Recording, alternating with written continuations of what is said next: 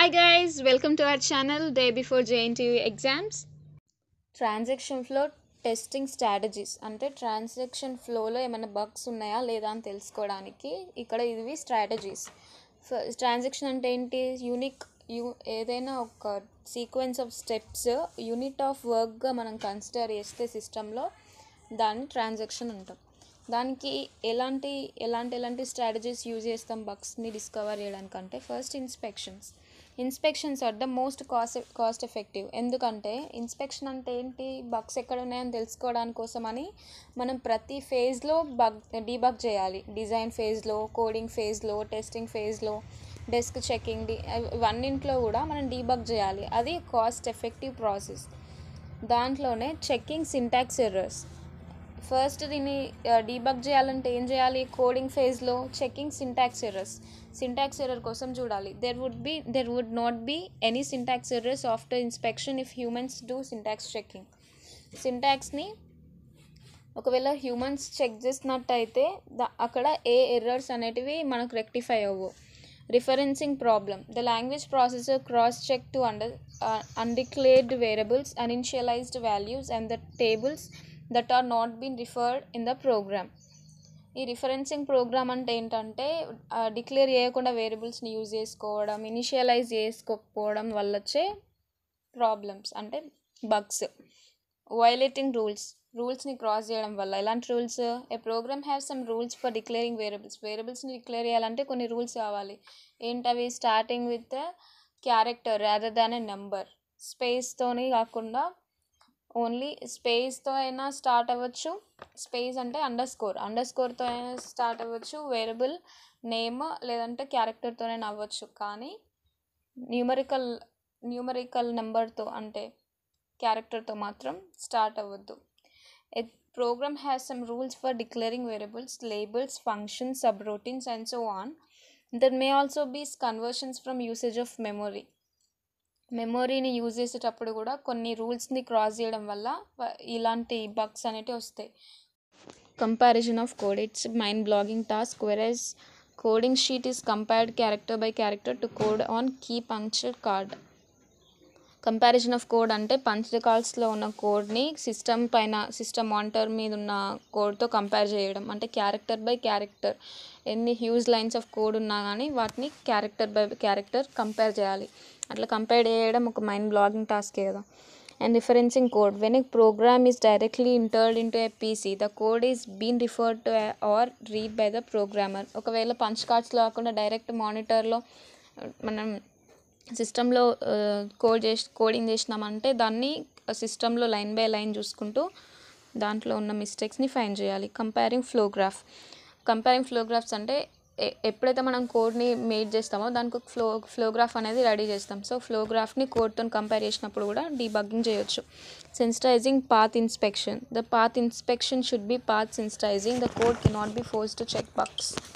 Path sensitize చేసినప్పుడు మనం కోడ్లో ఉన్న బగ్స్ని చే డీబగ్ చేయలేం. Next one review. Reviews are use to check the semantics semantics అంటే ఏంటి? Meaning of the document. ఒకవేళ కోడ్లో ఎలాంటి బగ్స్ లేవంటే నెక్స్ట్ డాక్యుమెంటేషన్లో బగ్స్ ఉన్నట్టే. రివ్యూస్ ఆర్ యూజ్డ్ రివ్యూస్ ఎందుకు యూజ్ చేస్తాం? డాక్యుమెంటేషన్లో ఏదైనా బగ్స్ ఉందా? అంటే ఎలాంటి బగ్స్? Semantic bugs. అంటే మీనింగ్ ఆఫ్ బగ్స్ ఏమైనా ఉందా అనే దానికి యూజ్ చేస్తాం. The quality of documents can be examined assured by eliminating the defects and mistakes from the documents. Quality of the document ఎలా ఎగ్జిమైన్ చేయొచ్చు? మిస్టేక్స్ని రిమూవ్ చేయడం వల్ల. దాంట్లో ఫస్ట్ వన్ ఏంటి? Review planning. During the planning phase the documents in the software developments developments in the software development process are assign to review technique. ఎప్పుడైతే review ఇవ్వడానికని ఒక ప్లాన్ అది వేసుకున్నాం. ప్లానింగ్ ఫేజ్లో రివ్యూ రివ్యూ ఇస్తాం కదా ప్లానింగ్ ఫేజ్లో ప్లాన్ కరెక్టా కాదా అని రివ్యూ మేడ్ చేస్తాం. దాంతో డాక్యుమెంటేషన్లో కొన్ని బగ్స్ అన్ని క్లియర్ అవుతాయి and review pro document information all necessary information is provided when the review team is formed the information about the document is shared and reviewed ప్రతి ఈచ్ అండ్ ఎవ్రీ ఇన్ఫర్మేషన్ డాక్యుమెంటేషన్లో ఉన్న information మొత్తం review టీమ్కి ఇచ్చేయాలి. ఎందుకు డాక్యుమెంటేషన్లో ఎలాంటైనా mistakes ఏమైనా ఉంటే వాళ్ళు దాన్ని రెక్టిఫై చేయడం కోసం అని ఇవ్వాలి. Preparing review meetings A review meeting is prepared by individual review team members the inconsistencies and defects are checked by the reviewers against the document అంటే రివ్యూ మీటర్ రివ్యూ మీటింగ్ అనేది ఇండివిజువల్ రివ్యూ టీమ్ మెంబర్స్తోని prepare చేయబడుతుంది. అంటే review members ఉంటారు కదా group of members దాంట్లో every member group ఒక meeting ఏర్పాటు చేస్తారు. వాళ్ళు ఎప్పుడైతే ఒక బగ్ని డిటెక్ట్ చేస్తారో అప్పుడు. The inconsistency and defects are checked by the reviews against the documents డాక్యుమెంట్లు ఏమైనా బగ్స్ ఉంటే అప్పుడు చెప్తారు వాళ్ళు. And objective of review meeting objective ఏంటి అసలు? The review meeting is handled by the review leader. The review leader must ensure that the requirements of all the reviewers has met to find the defects and will be able to express their opinions without any fear. Review meeting objective ఏంటంటే review leader అనేవాళ్ళు చూసుకోవాలి అంతా ఏ ఏంటి reviews find చేయడానికి requirements అన్నీ correct ఉన్నాయా and వాళ్ళు ఎలాంటి ఫియర్ లేకుండా అందులో ఉన్న డిఫెక్ట్స్ని చెప్పగలుగుతున్నారా లేదా అని తెలుసుకోవడానికి ఈ రివ్యూ ఆబ్జెక్టివ్ అన్నట్టు. And taking different processes review manager selects different techniques on the basis of review results review రిజల్ట్స్ని బట్టి రివ్యూ మేనేజర్ డిఫరెంట్ టెక్నిక్స్తో అప్రోచ్ అవుతారు. And review scheduling it is the result of first review was not acceptable and then another review will be organized by the review manager to correct the defects first ఒకవేళ defects defects fine చేసిండ్రు. దానికి దానికోసమని ఒక reviewer ఒక solution చెప్పింది అనుకోండి. అది కరెక్ట్గా లేదంటే go for another review and walk through walk through is an informal review method compared to the other types of reviews ఇది ఒక ఇన్ఫార్మల్ రివ్యూ సేమ్ అట్లానే ఇంతకుముందు పైన రివ్యూస్ మెథడ్ ఎట్లానో అట్లనే ఈ వాక్ త్రూ మెథడ్ కూడా. కాకపోతే ఇది ఇన్ఫార్మల్ వే పైన వాళ్ళు విత్ విత్ ఎనీ ఫియర్ లేకపోతే రిక్వైర్మెంట్స్ కరెక్ట్ లేకపోవడం వల్ల వాళ్ళు రివ్యూ కరెక్ట్ ఇవ్వలేకపోవచ్చు. కానీ ఈ ఇన్ఫార్మల్ వేలో ఖచ్చితంగా మనకి రివ్యూస్ కరెక్ట్గా చెప్తారు. And walk through has a team similar to that of the reviewer team and consisting of three people and ఈ టీంలో త్రీ మెంబర్స్ ఉంటారట. ఫస్ట్ ఎవరంటే the first person plays role of secretary to record errors ఏమేమి errors వచ్చినాయో check చేసుకోవడానికి record చేసుకోనికి ఒక person ఉంటారు.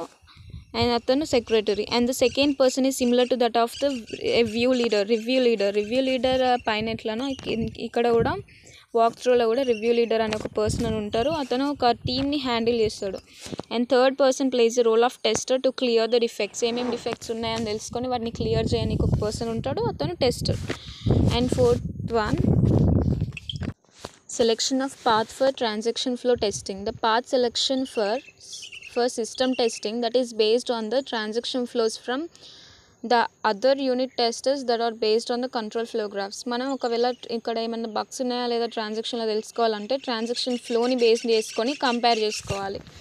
Act of sensitisation. సెన్సిటైజేషన్ అంటే ఏంటి? ప్రతి కేసులో దానికి డెసిషన్ తీసుకున్న ప్రతిసారి దానికి ఒక కంప్లీట్ ప్రోగ్రామ్ని మనం ప్రొవైడ్ చేయాలి. అంటే ఫర్ ఎగ్జాంపుల్ డెసిషన్ తీసుకున్నప్పుడు ఎస్ అయితే ఒక వే నో అయితే ఇంకొక వే కంప్లీట్గా ప్రిపేర్ చేయగలగలగడమే సెన్సిటైజేషన్ కదా. The simple parts are easy to sensitize in transaction flows it is an act of defining transaction some parts are difficult to sensitize కొన్ని parts hard to sensitize అన్నట్టు. And therefore these parts result in bug transaction flows ఇలాంటి వేస్లోనే bugs ఉండడానికి chances ఉంటాయి. And measurements during process of modules the information of the path taken by the transaction must be kept since it plays important role in the transaction flow testing ఎప్పుడైతే ట్రాన్సాక్షన్ని different మాడ్యూల్స్గా divide చేస్తామో దాన్ని అప్పుడు path path మొత్తంలో మాడ్యూల్స్లో ఉన్న information మనకు కావాలి. So ఎప్పుడైతే అక్కడ ఇన్ఫర్మేషన్ మిస్ అయిద్దో అప్పుడు ఒక బగ్ అనేది మనం ఫైన్ చేయొచ్చు. Transaction flow database every tester a program design his own unique database every a tester అయినా ఏ ప్రోగ్రామర్ అయినా కానీ ఒక తనకంటూ ఒక డేటాబేస్ని ఆ ప్రోగ్రామ్కి ఒక డేటాబేస్ని క్రియేట్ చేసుకుంటాడు. The test databases in transaction flows of configuration sensitive and here every tester needs exclusive usage of system and therefore the test databases must be designed using configuration control and centrally administrated systems ప్రతి టెస్టర్కి కూడా ఎక్స్ట్రీమ్గా సిస్టమ్ని use చేసుకుంటాడు. So ఒక test డా databases అనేది ఏంటి must be design using configuration control అంటే సెంట్రల్లీ కాన్ఫిగర్ చేసేలాగా ఉండాలి డేటాబేస్ని అలా క్రియేట్ చేసుకోవాలి. అండ్ సెంట్రల్లీ అడ్మినిస్ట్రేటెడ్ సిస్టమ్స్ ఉండాలి.